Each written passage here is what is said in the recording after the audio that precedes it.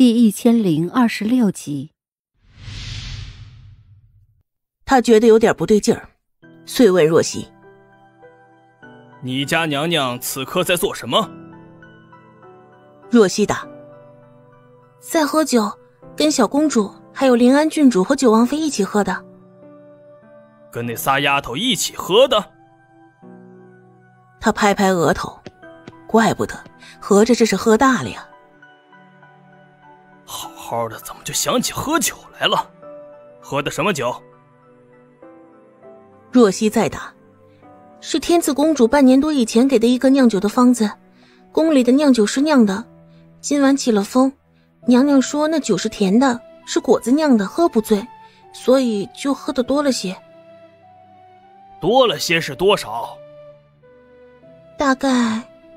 若曦算了算，大概一人一坛吧。”多大坛子？这么大。他用手比划了下，差不多一个大汤碗大小。老皇帝扶额，这就是喝多了呀，这就是跟他这撒酒疯呢。除了和离，你家主子还说什么了？若曦抽了抽嘴角，还说请您立刻到昭仁宫里，立刻，马上。老皇帝站起来了，走吧，朕去看看。也不知道受了什么刺激，居然还要跟朕和离。帝后哪有和离的？但凡决裂，那就只有废后一途。他那个脾气，怎么可能甘愿被废呀？还不得放把火，把这皇宫给烧了呀？哎，对了，真的只是光喝酒吗？光喝酒怎么可能喝出和离这个话题的？若曦想了想，分析说：“其实还真的就是光喝酒，但奴婢觉得皇后娘娘可能是受了些小小的刺激，这才心里不痛快，话说的重了些。”他告诉老皇帝：“今日除了小公主、九王妃还有临安郡主以外，在场的还有三个人，分别是洪旺少爷、九殿下以及七殿下。这洪旺少爷肯定是陪着小公主的。”九殿下肯定也是陪着九王妃的，七殿下不知为何对临安郡主十分关心，这样一来，皇后娘娘就显得形单影只，好不凄凉，几乎是喝着喝着心里就不痛快了。老皇帝懂了，合着这是叫几双儿女给刺激着了，看不得小辈们在他面前秀恩爱，觉得自己孤单了、委屈了，所以就派人来折腾他了。可是你陈静书委屈。折腾朕干什么？心里这样想，嘴上就把这话给说了出来，还说的特别不服气。凭什么让朕来受这个窝囊气？这跟朕有什么关系啊？朕这是招谁惹谁了？这话一出口，立即换来若曦惊讶的目光，惊讶之余还有点愤怒，愤怒之余还有点儿，觉得他可能是个傻子。老皇帝就不乐意了。你这样看着朕做甚？朕哪句话说错了？皇上哪句都说错了。她是陈皇后的宫女，怎能没有点气势？怎能不为自己主子说话？即使面对的是皇帝，但是皇帝你也得讲理，否则你以为你是十殿下呀？于是若曦道：“若真是跟皇上您没关系，那奴婢去帮娘娘找个男子作陪，皇上您同意吗？”天和地当然不同意，非但不同意，脚步还加快了。工人说：“要不用玉撵吧？”老皇帝不同意，非得自己跑得呼哧带喘的，费老大劲儿跑到了昭仁宫，才到了宫门口，正好看到他们家老九扶着走路直打晃的白珍珍出来，见了他还点点头，说了句：“哦，父皇来了，快去看看母后吧，父皇保重。”然后再也没说什么，架着媳妇儿走了。老皇帝擦了把汗，这怎么还让他保重呢？今儿这昭仁宫还能不能进了？脚步在昭仁宫门口是抬了放，放了抬。若曦都急了：“皇上您还进不进了？再不进，皇后娘娘都睡着了。您看，九殿下和九王妃都走了，临安郡主估计也走了，小公主被洪旺少爷哄着，可能去休息了。现在就剩您了。您看，您要是决定了不进，奴婢就叫人落宫门。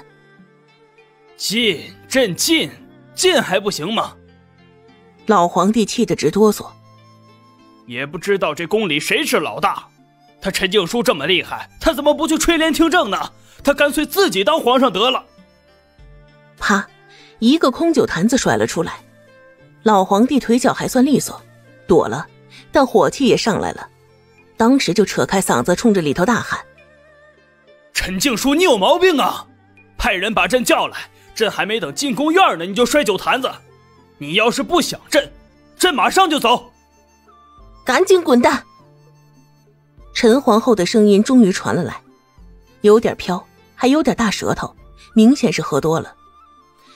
天和地琢磨着他是男人，不能跟喝多了的女人计较，于是忍了又忍，再做了几个深呼吸，终于迈开脚步走进了昭仁宫。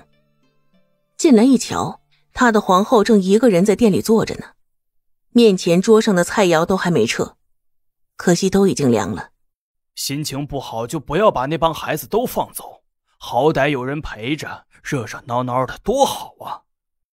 他挑了一个离陈皇后稍微远的地方坐了下来，小心翼翼察言观色，怕的就是这女人突然发疯，再扔个碗啊碟啊什么的。挺巧，坐的是七皇子的位置。陈皇后瞪了他一眼，冷哼：“哼，不放他们走。”不放他们走，留他们在本宫面前你侬我侬的，本宫活是不活了？一个一个都有人陪，就连老七都进来陪白家三丫头，合着就本宫一个没人要的。本宫把他们都给赶走了，你也给我滚蛋！不想看见你。老皇帝皱眉，刚来就让朕滚蛋，那不是白来了？行了行了。挺大岁数的人了，还跟小孩子置气，他们才多大呀？你像他们那个年纪的时候，不也一样吗？什么一样？一样什么？陈皇后气疯了，砰砰拍桌子。我像他们那么大的时候，在家里学礼仪，大门不让出，二门不让迈，再大一些就直接嫁进宫里了，当了你的皇后。当时可真是风光啊！封后大典，万众朝拜，可是那有什么用？我一天一天的见不着我的夫君。我的夫君有宠妃，有爱嫔，每月十五才能轮着我一回。我成什么了？我都不如外头府里的一个通房丫鬟。人前还得陪着笑，还得跟你演夫妻恩爱，还得做出一副母仪天下的大气模样。事实上，我宰了你的心都有。君丽，我告诉你。老娘忍了你几十年，现在不想忍了，咱们和离。老皇帝心里也有气。啊，合着这么多年恩爱样子都是你装出来的，你还想宰了朕？你这是弑君，你知不知道？是要被诛九族的。爱诛谁诛谁，你是皇帝，谁管得了你呀？陈皇后越说越气。恩爱不是装出来的，还能是怎么来的？你敢说你心里有我？我心里要是没你，能让你当皇后吗？陈静书，你讲不讲理呀？朕当年可是力排众议让你当的皇后，当时想做皇后的人有多少？你自己心里没个数？他也越说越来气。陈静书啊，陈静书，这些年要不是朕纵着你。你以为你能发展到今日，拍着桌子跟朕叫板吗？朕年轻那会儿是有宠妃，可朕是皇帝，几千年来皇帝就是这么过来的。再说，谁还没个年轻的时候呢？你再看看现在，朕除了到你这儿来，还去别的地方吗？你荒废后宫也不是因为我呀，君丽，你要点脸行吗？陈皇后真急眼了。为何荒废后宫？为何再也不沾那些女人？因为什么？你自己心里没数吗？那是因为我吗？他摆摆手，我不想同你说这些，毕竟还有凛儿和楚儿呢。不看僧面也得看佛面。你赶紧走吧，我真不想看见你，看见你就来气。老皇帝叹气：“这女人喝多了真是麻烦。”你叫朕来，朕这都来了，就别生气了啊！再麻烦也是自己的女人，还是女人堆里的老大，不哄哄说不过去。可是陈皇后不领这个情，她告诉老皇帝：“来晚了，跟没来也没有什么区别，赶紧走。”老皇帝有点上火：“这来也不行，不来也不行，你这女人也太难伺候了。”那你就伺候男人去啊，别跟本宫这碍眼。不是，咱俩谁是皇上啊？你，你是皇上。那你怎么敢对朕这样说话？一次两次朕忍了，你还没完没了了？我就这样，你爱听不听，爱受不受。陈皇后又是冷哼，哼，君丽，我告诉你。别以为你是皇帝，你就能骑到我的头上。我陈静书偏不信你这个邪。需要你的时候，你不知道搁哪儿待着；用不着你了，你跑我眼巴前晃悠来了。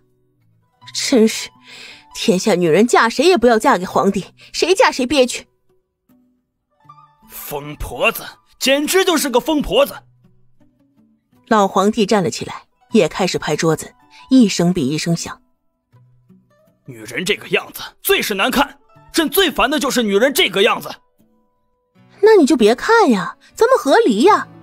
反正你心里头装着的人也不是我，我疯与不疯，好看与不好看，都跟你没有什么关系的。你什么意思？一次又一次把和离挂在嘴边上，你到底想干什么？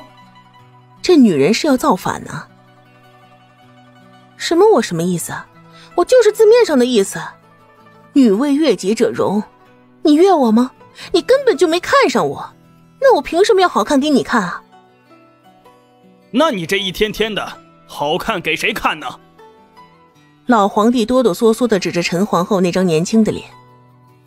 有本事你就把阿染给你的药停了，有本事你一直像以前那么老啊！我以前显老吗？我比你小十几二十岁，你居然好意思嫌我老？我偏不停药，我给我自己看。我天天照镜子，自己看自己我就高兴。下回你在，我就戴面纱，咱们老死别见。鬼才愿意见你！老皇帝暴怒，陈皇后更暴。对，我给鬼看也不给你看。老皇帝摩拳擦掌，真是反了你了！真是一天不打上房揭瓦，朕怎么就娶了你这么个凶后？我算是明白，灵儿那个不讲理的劲儿随谁了？合着都是随了你，陈景书，朕今儿非教训教训你不可，否则你这个女人就是不知道天高地厚。老皇帝撸起袖子，绕过桌子就往前走。陈皇后起身，步步后退。你你要干什么？你别过来啊！我要跟你和离，你不能打我。皇上打皇后会被天下人耻笑，打女人的男人没出息。大家好，在下讲故事的明灵，也是书中的白鹤染。播出时间尚短，水平一般，能力有限，感谢各位听友的支持喜欢，欢迎大家多多关注，多多交流，爱你们呢。